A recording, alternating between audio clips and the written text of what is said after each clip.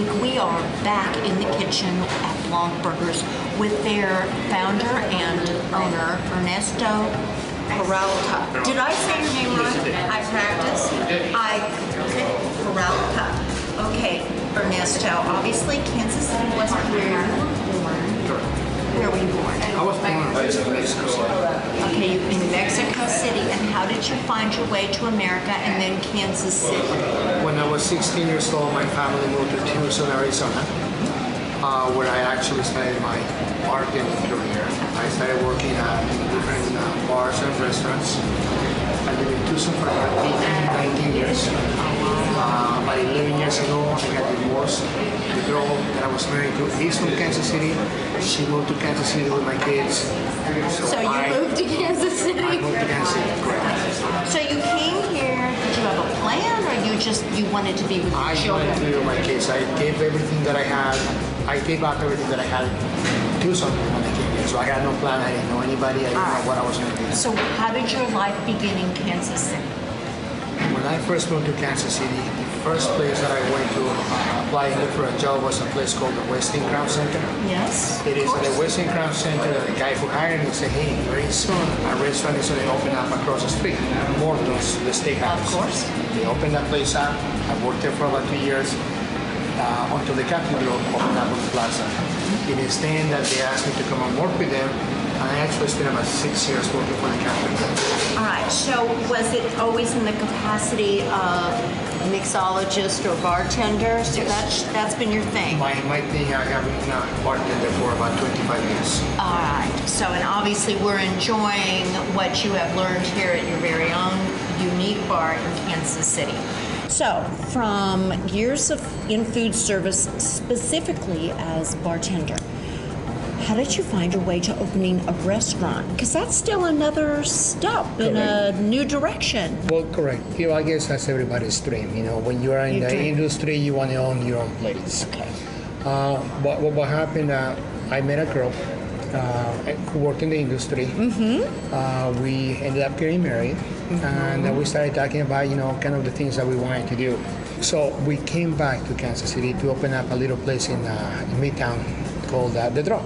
The drop, I'm familiar with it. Okay, so it was at the drop that I actually became a restaurant owner, and it is then there when we started thinking and talking about what would we be doing next. That's when we decided that we were going to do a burger place in Westport. But not just any burger place. Uh, we we knew what we wanted, but we didn't know how it was going to turn turn out. Okay. Uh, it is then that we painted all the walls white, and it is then that we started thinking, what are we going to call this place? So my wife said, why don't we call it Blanc, B-L-A-N-C, which, Which means white in, In French, yes. And French and gourmet food goes together, It and we were going to be doing gourmet burgers. It was Blanc burgers and bottles, and that's what.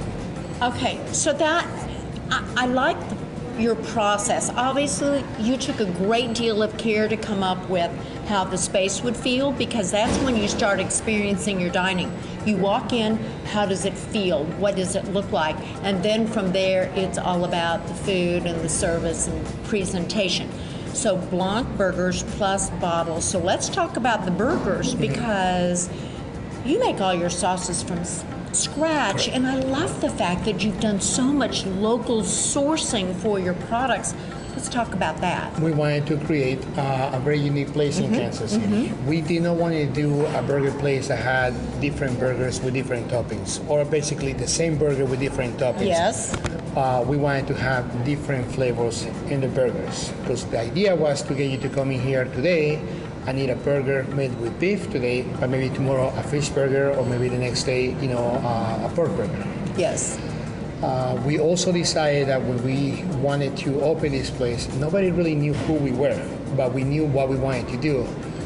One of the things that we did do was utilize some of the really cool companies that Kansas City has to offer. and aren't we lucky and yes we have wonderful companies So we decided to partner up with places like uh, Farm to Market, which makes our bread fabulous fresh daily. fabulous Uh, Liberty Fruit, which is a huge local company. Of course, we use Shatto Milk and Fuscosa to make our shakes. Uh, you know, we're a bottle place, so we use uh, Boulevard uh, products. Uh, we also utilize Roasterie coffee. and and then we try to use as many local people as we can. Well, you know, that's appreciated by this community. You're a part of this community, you're locally owned, and you are chef driven. And your burgers are unique. I think you were one of the pioneers in Kansas City for opening up, whether you want to call them designer or upscale burgers, but they're they're wonderful.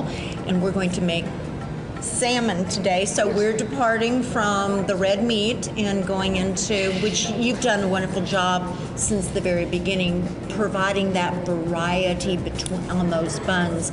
Okay, now let's talk about the drink side because I was finding drinks here that I couldn't find anywhere else. What was your concept for the bottles The portion? bottle side. Well, we wanted to pay attention to the drinking side as much as we were doing on the eating side. So the burgers were premium burgers, Mm-hmm. Yep. and we wanted to pair them up with premium beverages, whether it was a bottle of wine, a bottle of soda, or a bottle of beer. Okay.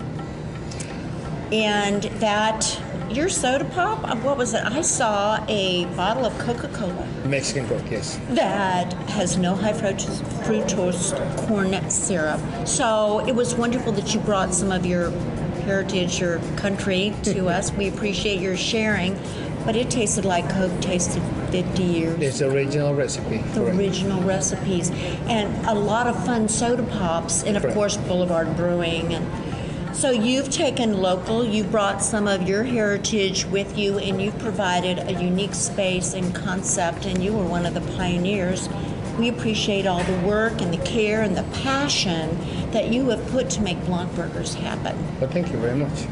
so now I think that we should talk to your executive chef, Jason Eggers, and learn a little bit about what he's accomplishing every day in your kitchens.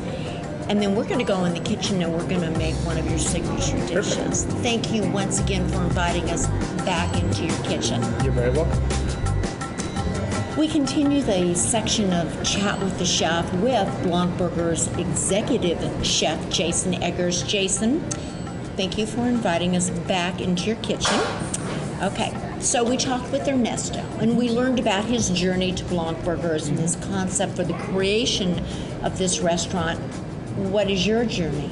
Uh, my journey brings me from California out to the Midwest. Uh, it was about 10 years ago, probably actually more like 12. Okay. Uh, I became interested in the culinary arts. I was doing construction, hated my job, hated every day of it. Um, was cooking at night when I got home, and everybody was loving that. I love so- I bet. I love these stories where someone starts out with their career in one direction and then has the courage to say, this isn't working, I want to do that. And Yep. you did that, and good for you. Yes. So, from construction, you love cooking, you pursued it. I pursued it with everything I have. Um, I worked my way up in this business. Within three years out of culinary school, I had my first sous chef job. Um, within four years out of culinary school, I had my first exec job. So, Okay, I where did you go to what I culinary school? I went to culinary school in a. Uh, it's actually a very small culinary school Yes. in Roseville, California, right outside Sacramento. It's called uh, IT. I took their culinary program. Um, started with a class of about 35 people. Yes. Our graduating class was two people. I know, I know. Because, and, and did this include some internships? yes. Okay, and this is what I'm told by chefs. I said, well, what advice would you give to someone who has an interest in this industry? And the first, always, the first piece of advice is get into a kitchen Yes. and start cooking. The hours are long, it's hot, you are on your feet. It is physically challenging. If you don't mm-hmm. love it, learn about it before you ever begin doing this work. Yes. And so your passion carried you right on through school and four years out and you're an executive Yep. chef and Like you I said, still was, love I it. still love it. That was about 10 years ago. So, uh, moved out here for family reasons. You know, Yep. all my family's out here, That's a good reason. and so far so good. I like it, and found this place. Ever since then, this is where we've been. This is where you've been. Okay. So your journey, you made it a career change. You went and got the education, Yes. internships, and now you are executive chef. So executive chef is more than just cooking. I mean, you provide the leadership in the kitchen. What is it you want to impart to your cooks there? Um, the same passion I have. Okay. You know, I mean, that's the, the first thing I look for when I hire someone is someone that's passionate. I don't want someone that wants a job. I want someone that There you go. that makes a lifestyle out of this, that knows what it entails, and says, "I want, I want more. I'm hungry for it, and I really want to know how to make good food." Because when I have an entire staff like that, I guarantee you that everything coming out of my window is going to be perfect and delicious. And you know, we can feel this on the plate. We experience this passion that you talk about here on the plate. So you're making decisions, first of all, about who walks in the door, and this isn't just about a job. You need to recognize that in them. What is your inspiration? I mean, this is hard work. How do you stay inspired? Um, it's a lot of things. Same thing, you know. Um, as far as the passion goes, it's something Yes. I love doing. And I mean, you almost want to close your eyes and just go to like another place. You're like, oh, it's so good. And So the to get there, to get to Yeah. Mm-hmm. that experience. Okay. So one of my, I think my biggest inspiration is that look on other people's faces when they try the food. Um, it's just, I mean, that's the whole reason we do it. That's the reason you do it. And I hear this from chefs as well. At the end of the day, you are trying to please other people. Exactly. You want them to enjoy what you've done Yep. for their own pleasure, and it's gratifying to you as, Yeah. as well. So it really does. And I say this you know, if you've just had a wonderful dining experience, tell your server to go back and tell the chef definitely. that it was wonderful because it matters to you. And conversely, if something wasn't quite right, I'm sure you want to. Oh to. yeah, I always want to know when something know. wasn't right. I want to fix everything I possibly can. Okay, so the feedback is Yeah. valuable. Yeah, it's very valuable Is to valuable us. to you. Um, what are we making today in the kitchen? Today we're going to do an Asian marinated salmon. Uh, we're going to So I'm it. so glad we're doing this because people say blanc burgers. Well, if I want, if I don't want red meat, how do I have blanc? You can still have a blanc burgers experience. Yes, I mean, we have so- the mahi mahi on the menu, but I decided to go with this Asian marinated salmon. Okay. Um, it is on a sesame seed bun. We're doing a wasabi aioli, and it's got a spicy slaw on top. Oh. It's fantastic. It's probably one of my favorite um, burgers I've created since I've been here. And Okay, so this is your creation Yes. too. It's your creation. And how do you come up with these creations? Are you are you going for a particular flavor profile? How do you like? Um, How did you come up with this creation? It's just, you know, the Asian flavors and the salmon already go so well together. And that's one thing about what we do here is taking dishes that A have either inspired us in the past or that we've done before and Yes. Figuring out how to put it between two between a, a bun. You know, put it between two pieces of bread. So you are pairing, and I see this. You are pairing the buns with. Oh, yeah. Um, what's between them? Yes. That that's all part of the tasting Yes, experience. And the sauces that you do here, I know they're all. I mean, ketchup, homemade, the mustard put together. This didn't come out of some big vat No. in a big plastic thing that arrived Nope. here. You're putting them all together. Yes, we are. So we know we can count on some of our favorites because some of us are fussy about that sort of thing. But we also know that when we come here, there's going to be some new things for us to try. Definitely. And and that's an ongoing process. Ernesto, it sounds like, has given you that creative freedom. Oh yeah. So you get to do that as well. Okay. Well, I think you and I should go into the kitchen. Now let's do it. I think we should make that signature dish. And I think you should come with us.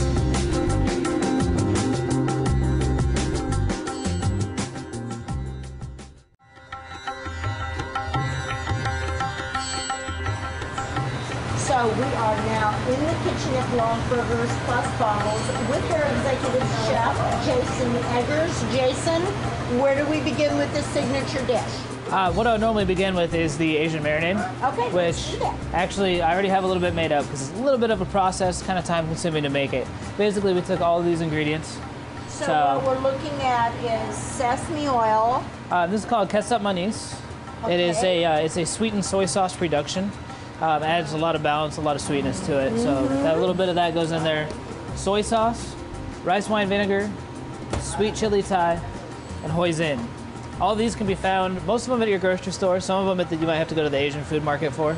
Okay, and if you are wanting to pull a product off the shelf, could you get an Asian marinade product? you could, it um, won't have this flavor. yeah, it won't be the same, It won't be the same. but you can And definitely get one off the we shelf. We will have this recipe up on the website. Yep. So, okay. So we made this marinade with these ingredients, and what did we do with our salmon? Um, we basically, I took the salmon, I cut the skin off, and we went ahead and put it in the marinade. All right, how long do we want the salmon in this delicious marinade? Uh, about an hour and a half to two hours. and so from here, this little guy goes to the grill. Yep, we're gonna go put it on the grill, and we're gonna go ahead and put our sesame bun on the grill as well. All right, so we created the marinade. The salmon has been in the marinade for two hours in the refrigerator. Yes. What do we do now, chef? Um, as always, when you're grilling fish, you want to make sure you have a really hot grill, Okay. and you always use some pan spray or even some vegetable oil on a towel, paper towel. Although you don't want to light yourself on fire. No fires. No, no. We're gonna go with a good amount of spray. We'll take our salmon and lay it right on there. And I noticed that you laid the salmon away from you, Yeah, I just want to make sure it hits the grill right. We get some grill marks, doesn't stick too bad. and you selected sesame because it blends well with all the flavors. That's correct. And where's he? Where's he gonna go? He's gonna go right here on our flat top. I'm gonna do a little bit of vegetable oil. So you could do this in a frying pan home if you don't have a Yep. griddle. Yep, you can even just brush it with a little vegetable oil and put it in the oven and get it kind of toasty if you okay, like. great. The salmon's on the grill, the bun's on the grill. Now we're gonna make the aioli. Yep. How do we do that? Uh, we're gonna start with a couple eggs. You just want the yolks though. We're gonna make an aioli, so all you want is the yolks. You don't want whites. You know, and if you're nervous about this, I, I suppose you could substitute with, some people substitute with mayonnaise, but I Yes. want you to know that that is how I separate my eggs and my egg yolks, and I, it's a winner every time. Yeah, so And basically, so does Jacques Pepin from Yeah. the, yes, he does. basically you just want to go ahead and get rid of all of the uh, the whites off of there. Go ahead, yeah, go ahead and dump that one in there as well. That guy's in there too. Okay, we're gonna go ahead and go with some of the wasabi. And you can get pasteurized eggs as well if you're a little nervous about. the Yes, you can. I mean, you, you can use a mayonnaise. It's not. It's gonna always have a mayonnaise taste. It's not gonna have an aioli taste, which is why I use oh, I can already smell the wasabi. All right, and then we got a uh, it's about a half ounce of ginger. All right, so about you just peel it and you sliced it once and it was ready Yep. to go. Yep. Fresh ginger, really, there's not a substitute. No, there's not. No, the no. dry ginger just doesn't do it. Just doesn't And then do one it. clove of garlic. It's gonna go right in there. Ginger, garlic, egg yolk, wasabi. we're gonna go ahead and turn that on. Little guy's gonna buzz down now. I have a mixture of the sesame oil and a little bit of salad oil. I'm gonna take a smell. So would you recommend it's a toasted sesame oil Yes. and that adds such richness. Yes, So we're creating sort of an Asian mayonnaise. pretty much. Yeah, okay. Uh, now the reason I mix it with the vegetable oil is because sesame oil is very strong. It's very intense. So there's only about two tablespoons in here, and there's about a, a cup and a half of, uh, veg- of regular vegetable oil. Like you could use canola oil, but Yep. you don't want an oil with flavor because Exactly. the sesame oil's doing that. Exactly. Okay. So now we're gonna pour it in really slow. We're gonna create what's called an emulsification. Just want to get a few drops in there. We're gonna let that mix with the egg yolks. I think it's important to remember that when you add oil to something you're trying to emulsify, you need to do it slowly so it Yes. has a chance to incorporate. Definitely. So what you're looking for is a certain consistency, and you add it until you get that. It's sort of uh, a ketchup consistency. Would you say you want that much movement, or Probably around there. around? Uh, it's gonna thicken up to about a mayonnaise consistency, but you want to slowly get it to that point. If you do it too fast, it's gonna it's gonna break it, and the eggs are gonna separate from the oil, and then then you just have a big mess. This is another thing where technique really, it's not just about the ingredients. It's about how you make them all come together. Yeah. So we're getting the movement that we want, and now Yep. you have a mixture of It's just kosher salt, Yep, kosher salt and fresh just cracked pepper, fresh cracked pepper. You're exactly right. and it looks almost like a 50-50. Yep. A little bit less pepper. A little bit less pepper. We can go with about two teaspoons of that. Okay, the salmon's grilling, the bun's grilling. We've made the wasabi mixture. Now time for the topping. How do we do that? All right. So for the coleslaw, it's really simple. Four or five ingredients. All right. Okay, They are. So we're gonna take some Napa cabbage. Yes. Finally, it's uh, really thin sliced. Yes. Cilantro. Uh, I just did whole pick leaves. Put some of that in there. Screams Asian. Green onion. And the fun way that you chopped it up is that you did it sort of on the diagonal. And Yep. that's Or on the bias. Yeah. Or, Yep. and then uh, some julienne carrot. Okay. Beautiful colors. And then I also hit it with a little bit of black sesame seed. And these are already Those toasted. are, those are beautiful. Just kind of gives it the, the contrast there. And a little crunch, a little Yep. baby crunch. Yep. Okay. And we're gonna take some of our salmon marinade. Now, so this is the marinade that we used to for the salmon, Yes. and now we're going to use it for the slaw. Yes, it makes- it's perfect for the slaw dressing as well. Married, Yeah. Yep. Okay. Now, I mean, of course, the salmon wasn't in this batch. No, though. no, no. We know not to put raw, you know, raw fish and then use it for another purpose. We wouldn't Exactly. think of it. Let me just kind of toss that around a little bit. A little stir.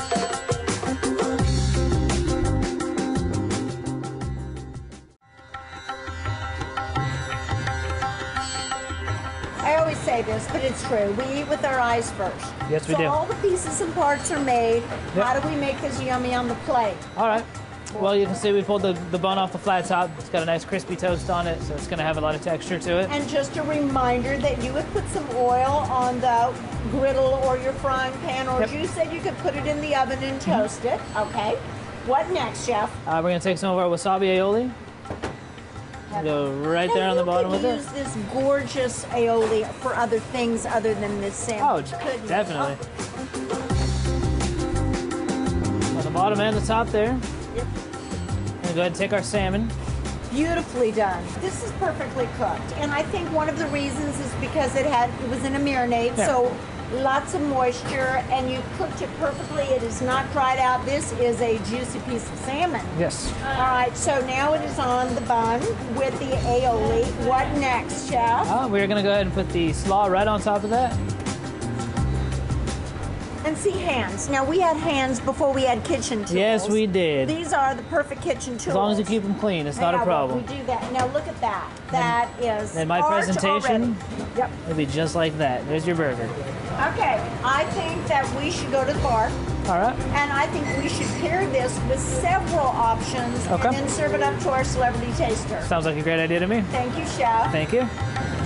All right, we have been in the kitchen, busy in the kitchen with a salmon burger, if you will, with a wasabi aioli, coleslaw on a sesame bun. What to drink with this new signature dish at Blanc Burgers? To answer that question, we're pulling executive chef back to the bar. Chef, what do you suggest to pair this with? Oh, I chose three here, a little bit for everybody. Uh, Good for you. We'll start with the hard cider. Normally I pair it with the beer. Then We have several beers that would go pretty well with this, but um, this just really came to mind.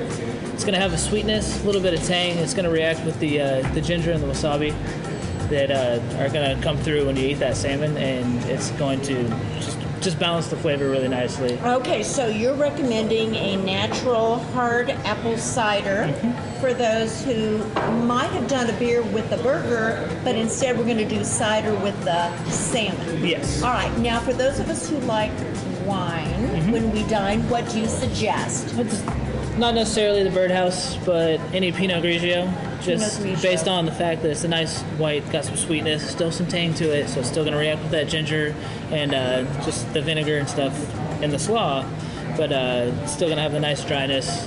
Will give you a good finish. Okay, so for those of us who don't imbibe but still would like something refreshing, Yes.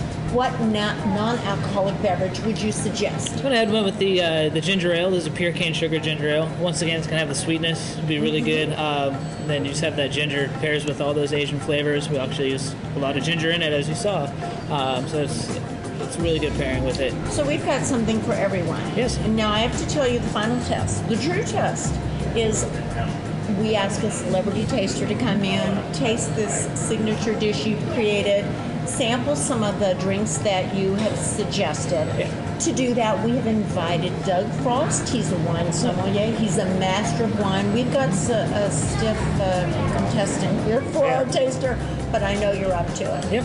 Okay, let's go. All right, sounds good.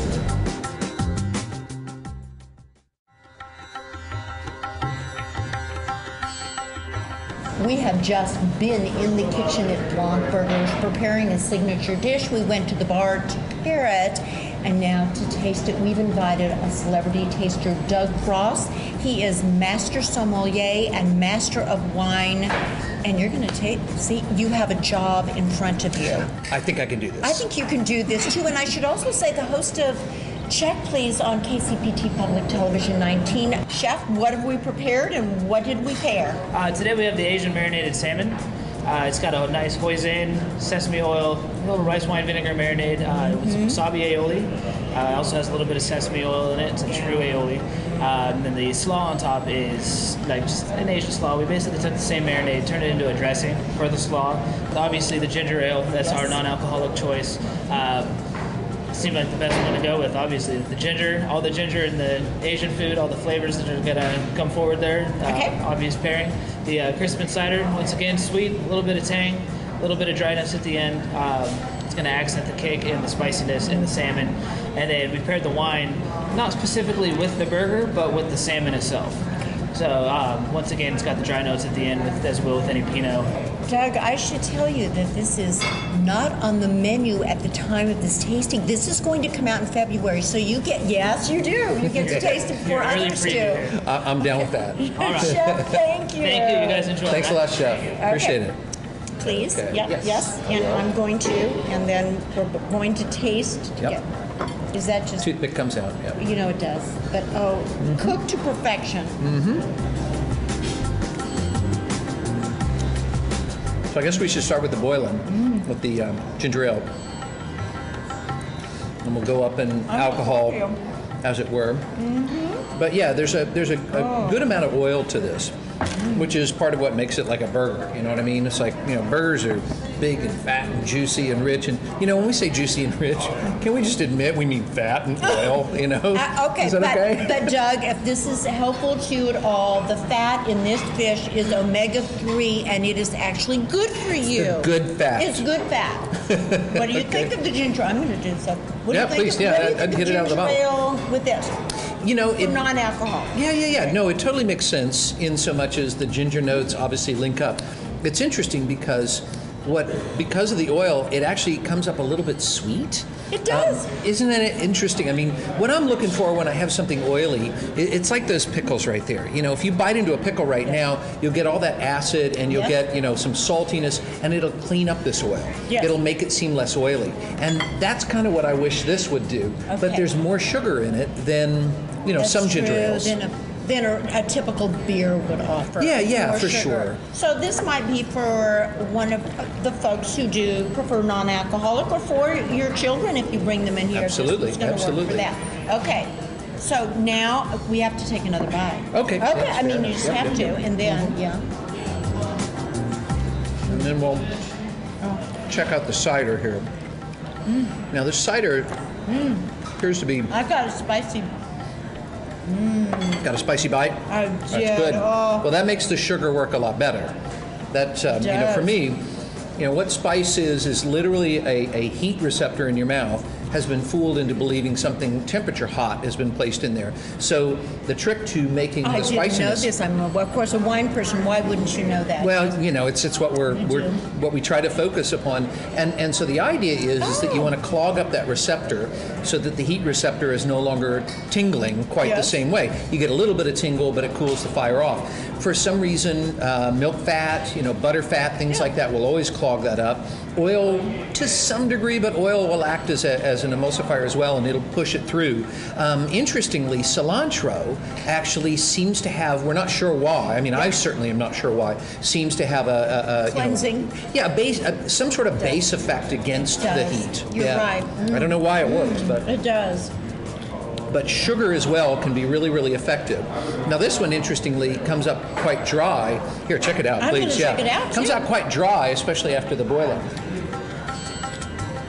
And so you get this really, you know, gentle kind of green apple candy sort of note. Yeah, it's very green apple. Yeah.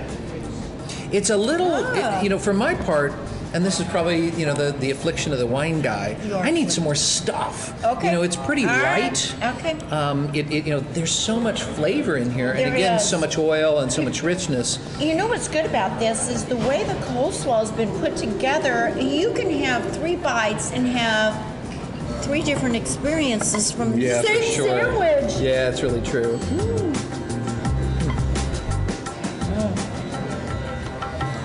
went after a little bit more of the That's just coleslaw. good. Did you get that? that time. We got coleslaw. All It right. could be spicier for me. The wasabi is creating, you know, that aromatic spice, which is really fun. It Because is. it doesn't really do anything more than tingle in the mouth.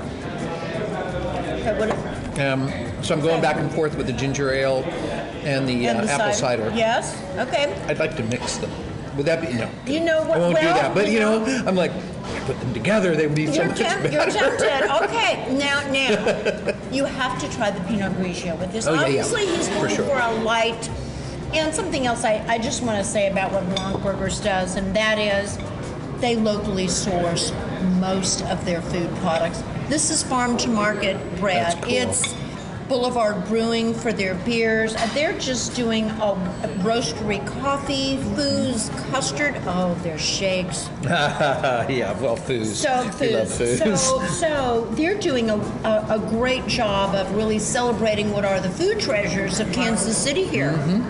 Okay, so Mm-hmm. You're right. Uh-huh. Well, let's see what the um, Mm. Pinot Grigio is all about. Big House is a fun label. You know, they make a lot of different wines, and and the, their Pinot Grigio is, certainly soft, a little bit higher in sugar, which because of this dish, I'm totally down with that. I mean, if there's some heat, I think sugar. Sugar. Because sugar, just like milk fat, just like butter fat, can actually clog those heat receptors and bring the, the heat down. Which is why, truthfully, the, the you know the other way to go on this would be mm-hmm. with a champagne. Most champagnes, most We sparkling don't think wines. of doing that, do we? But Yeah. it's pretty versatile stuff, isn't yeah, it? they, Yeah, they it is. usually have some sugar, and the bubbles will then help clean up kind of the oiliness of this this dish. Whereas the sugar all by itself, I, I predict, is still going to make the oil kind of cling a little bit. it's going to. I will tell you, when we were at Starker's and may John McClellan rest in peace, Yeah, he may he rest in paired, peace. may he rest in peace, he paired his fried chicken with champagne. Oh, It he's a worked. smart man. It worked. Oh, yeah, it would. Worked. Okay, now you tasted the Pinot Grigio. Oh, Yep. no, you have to Yeah, taste this. do it again. I mean, we have to do this. You know how it is. We work hard every single day. It's hard work. I know you do. Well, it's not as, as sweet as I remember it, and it's probably coming on the heels of these ah. others. So it has a relative uh, cleansing effect on it. It almost stands up to this dish, but ultimately, at the end of the day, you know, Pinot Grigio's um, markers are kind of apple and pear, so it's not very far away from this Crispin apple cider in terms of its flavor profile. Right. And I want a little bit more. I mean, right now, I'll predict. In fact, you know, Go let's as long as we You get the pickles, the pickle. one bite of the pickle And will will cleanse better than any of these drinks. And that's kind of a you know it's a, a rather damning comment ultimately. Uh-huh. But acid and salt. Thus the pit. Thus the pickle. Thus the pickle is there And next that's why. I think we want pickle with foods that are high in fat because Mm-hmm. it does. Ex- I mean, we didn't. I didn't put it together until you and I had this conversation. That's why we want our pickle. I think it's Gotta true. have that pickle. It's really true. We've had many wonderful celebrity tasters, made great contributions to this community that we share. But you are the most sophisticated palate of our celebrity tasters is master sommelier and master of wine. How do you get those credentials and what do you do other than go around the country or world drinking wine? Because I know you do that. Well, I drink everything I can get my hands on. That's There certainly true. Um, I'm Mikey. You know, I'll just drink anything. You're Mikey, but there's Yeah. only you're one of three in the world with these credentials. That's impressive. you know, first off, I'll always, always argue that there is no uh, particularly great palate out there. There is no, certainly no palate that is supposed to lead by example. That these are the wines that you should drink. That these are the beers that are best. I mean, that's a bunch of a, a crock of nonsense, frankly, to me, because some, you know, the, the way you're tasting this burger is probably a little bit different than the way I am. Right. Um, because each of us has a slightly different palate. So we have a slightly different flavor and aroma experience, which means there is no universal experience, which means there's no one palate that could ever stand in for everybody. So, you know, No, but I think the trained, educated palate is one that can and does provide great guidance to us for what we are tasting, if nothing else, but to instill that appreciation for what you do and why it works. And, and it, just like art or music, the more you know about it, the greater your appreciation of it, what you do. Well, I, I think you, you've hit the, the, the nail on the head in the sense that what somebody like me is supposed to do is provide a frame of reference, And you know, you provide context. and and that's created through experience. So precisely to your point, the the idea is is that not that I'm the best taster of Pinot Grigio, it's that I'm the guy who's probably tasted you know ten thousand Pinot Grigios, so I can go well in the big spectrum of Pinot Grigios. This is where that one sits. The one thing that I can't do, or no one can do, is tell you this is the one you're going to like, because that's you know that's totally personal. Um, so so the, the key is to be able to tell somebody what to expect, so they can determine in advance, hopefully before they spend their money, if they're going to like it or not. So you know my the- the exams that we go through are really built upon that notion. really about helping the the everyday person understand the flavor profiles and what they are and what they might taste good with in, in, in addition to the flavors and that's you do it so well we're Kansas City has one of three in the world, um, Master of Wine and Master Sommelier, and and that's a treasure for us as well. And all that you do for the community and KCPT Public Television. I want to thank you for taking time. I know you have a crazy schedule. I'm glad we caught you near the holidays so you could be a celebrity taster, but we really appreciate what you do.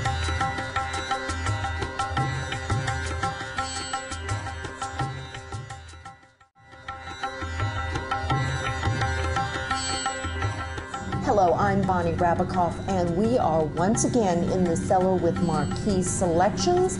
This week, we are going to pair some cheese and wine, and to help us do that is their director, Chris Cribb.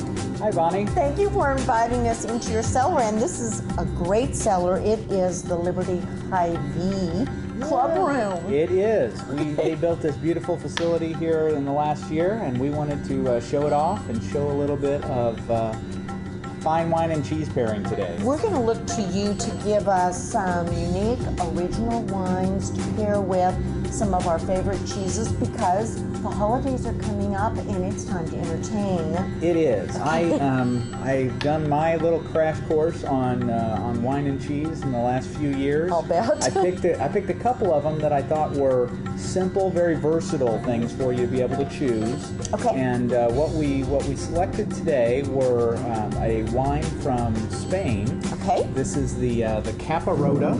Okay. So the Caparota Monastrell Syrah. Mm-hmm. It is um, a blend that's um, from the southern part of Spain, a little bit medium-bodied, Mm-hmm. a younger wine, and um, and we've got uh, chosen to go with that Yes. a uh, Spanish cheese. So we're talking Spain as a country, and the wine, and then Spain as a cheese in uh, a manchego. And- And I saw, and I have heard sometimes uh, the things that grow together go together, and you're doing that with Absolutely. This. I think that's, that's one of the things that just stood out when we were looking at what we could find that's versatile, that's available everywhere, Mm-hmm. but it's also higher quality. And um, so that so that's what we've got paired up with the um, with the Caparota. And then the second one that we chose here today is one that uh, a lot of people are probably familiar with. Is Yes, uh, they are. Mm-hmm. Parmesan. This is the Parmesan Reggiano. So what I hear is the king of cheese. It's the king. It wears a crown when you're not looking.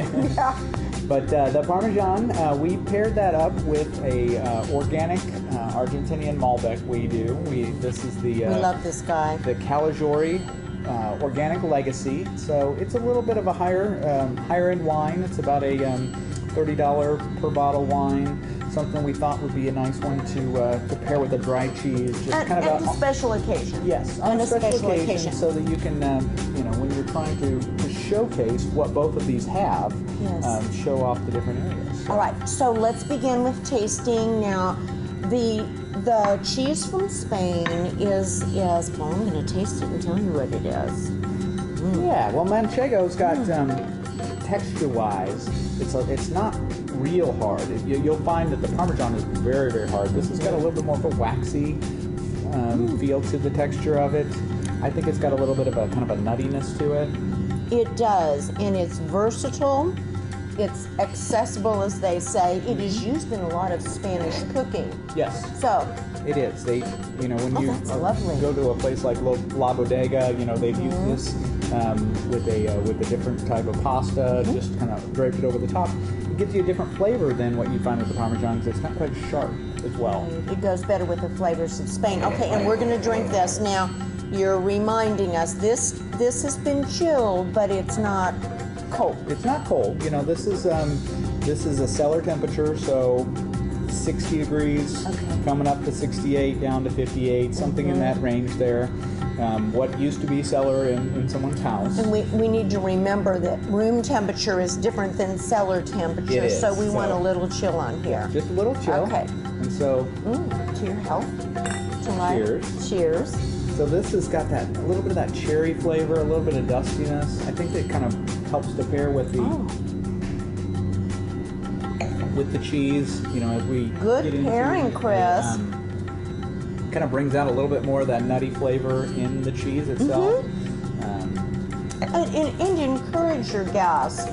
You know, there's all opportunities to label the cheeses. absolutely. And you can, well, you wouldn't use my handwriting, but someone surely can write well in your household and put it in so that they can, the, the entertainment, the foods that you're entertaining with become part of the conversation. Absolutely. The interaction of people, try this, try that with this.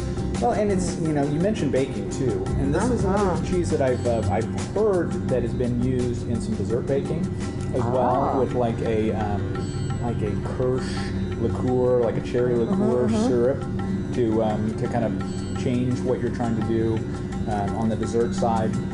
It's real cheese, not cheesecake, but you know It's real something cheese. something that's pretty nice. That's wonderful. All right, so we've we have paired this Spanish cheese, Spanish wine. You can use it either as put it on a cracker, and um, or use it to cook You know, with. the other, But one of the other things that I really like with this is, you know, if you are just putting out a charcuterie plate, Mm-hmm, you know, the, the other third piece of the Spanish that you could put out there would be some Serrano ham.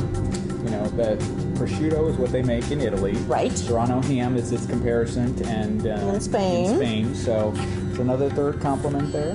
and you know what I've seen you you mentioned as a dessert. This is versatile enough that you could use a preserve. We did this at the Urban Table. We put a um, bread and grilled it, and then put preserves over that, and then put the cheese and the meat on it, and it it took care of anything you could ever want for a for a charcuterie or for your um, hors d'oeuvre. Okay, so we've got this pairing down. Sure. So we, we went Spain. So now let's um, Mm-hmm. Well, let's go to Italy because- uh, the uh, the Italian here, and um, as we mentioned before. Isn't that amazing? This is a younger uh, wine. So this is a Okay. 2009. Okay, You can see that we moved into a bigger glass. we have. So Tell us why. Sure. The Caligiore Malbec. Um, the Malbec grape itself is one of the Bordeaux varietals, so it came from France originally, but it's got its home in uh, in Argentina. Mm-hmm. And this one has been um, been barrel aged, and uh, it comes from very old vines. So it's a More full body? very full body, Very full body.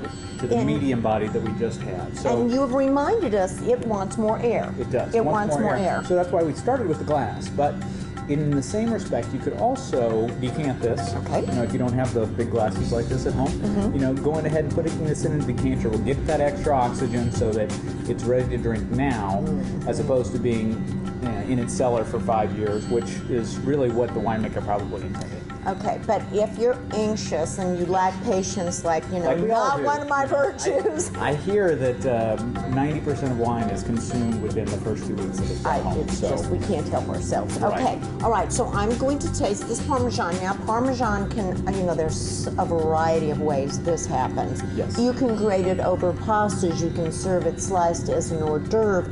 It is in so many foods, but we primarily use it for Italian dishes. So there, our Italian wine is Italian what wine. grows together goes Yes, together. Italian wine roots really work well with this. Chianti Classico is another Oh, thing that I, I pair a lot. Um, but um, I think the um, the style of the medium to full body Malbec goes very well with it, just like a Chianti would or a some of the Italian classics that, that also go at the same time. But this is the winner. yeah. This is the winner for the Parmesan. It just, it's achieved perfection. I was going to say all the other things that you could put on your grilled bread, but it would almost be sinful because these two together are stunning. It is. It's the, the. Mm-hmm. simplicity of it is really what makes it nice. And there's a reason why there's wine and cheese parties and have been for you know thousands of years. What it was supposed to be. what it was supposed to It's be. supposed to be. But you, you could think about there are a number of other things you could also do with it. You know, there's a Oh. small type of tapenade type of stuff that you could put with this to bring in some tomatoes. Yes, you and the olives. Olives. Olives, Olives would be a really go well with this. This is the Malbec. is so versatile, and of course, we love this particular winemaker because he cares about organic. And I know you personally gone down there to check out the vineyards. I have. You did good on this. you, Well, this is great. I, this is I great. have to uh, to tell a small story about this winemaker. This winemaker has Airedale dogs, and the. Airedale dogs run his vineyards, and he calls them his um, his second crew because Oh, they okay. go. He goes through and he clips. They, they call it uh, cuttings. So Yes. they clip cuttings off so Right. that the wine is very intense. The And, and that was explained to me is that it, the growth on the vines then is concentrated on producing the healthiest, most, it has the most nutrition for the grape. So it's pruning, I Yeah, guess. is okay, pruning. all right. It's so pruning in, in its essence form. You think, oh, you're, you're cutting off grapes, but what you're doing is you're concentrating the supply of water to the Uh-huh. grapes, so that those grapes that are still there are getting exactly what they need. and he's given them a lot of care. Yes, and and his dogs, the Airedales, are in love with the cuttings. they eat So grapes they? right oh, they, the oh, they eat grape. Yes. Okay, well they must So- be very, very happy Yes, dogs. so for a dog lover and you're looking for a great wine, you, you've got one that the well winemaker has It's uh, been taken well. well. You've been to Argentina. You are hand picking the wines for your portfolio, and your efforts have paid off. Wine Spectator has said that you have, in the last five years, had some of the best wines at the greatest value.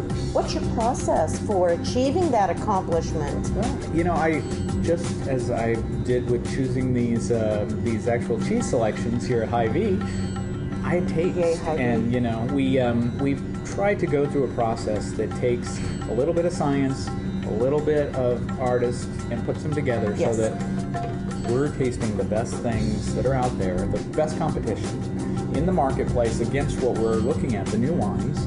Uh, we're only looking for wineries that are doing things green, sustainable, organic. Thank you. So they um, they have a commitment to our future, and we feel like anyone that's going to be committed to that is going to be committed to making great wine for us. So those those are the ones that uh, get into the process, and uh, we do uh, some blind tastings to make sure that they're better than their competition. If they do meet all of those criteria, then and they're a great value, then we uh, look to bring them into the portfolio. So. Okay, so how can we learn more about the wines in your portfolio? Sure. Well, we've got a, uh, a great website that uh, keeps growing every day. Um, www.marquee.com. M A R Q U E E. Yeah, Marquee. Um, and we have on there uh, all about every one of the wines we have. We've got a little bit of food and wine pairings, information about um, other great wine education ideas, as well as all of the other ways that you can connect with us from a media standpoint YouTube, Facebook, Twitter, all of those. So And we can call you too. What's your number? uh, it's 888 uh, M A R Q U E E. When we come back into the cellar next week, we're going to get ready for Thanksgiving. All right. I can't wait. We do. Cheers, Bonnie. Cheers.